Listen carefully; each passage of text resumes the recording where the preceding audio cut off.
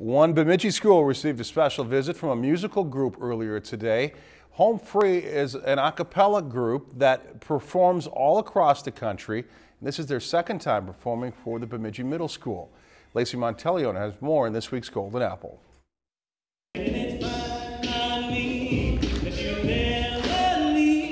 A cappella group Home Free stays pretty busy. We do about 200 to 250 shows a year, and I would say a good percentage, maybe 50% of it, is uh, educational outreach. And Bemidji has now made it on that list of stops twice. This uh, audience is one of the best audiences we perform for.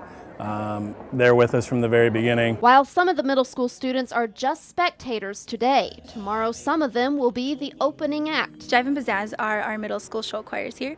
Jive consists of any boys in the middle school that want to be in show choir, and then the eighth grade girls.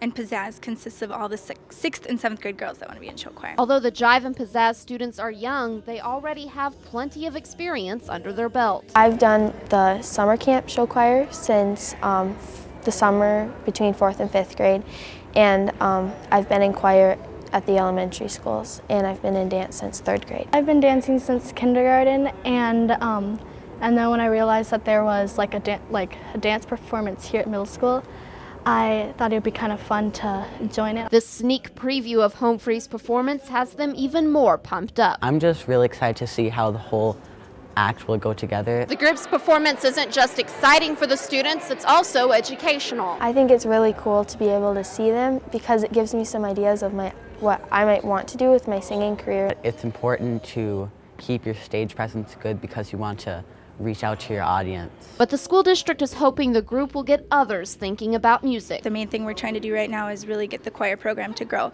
So to bring in these guys who are so talented and they, ha they have such amazing voices and they're, you know, really pumping it up, it's really great for me and for the other music um, department teachers. And a music career doesn't have to end when they leave school. We like to tell the students, you know, uh, keep doing music.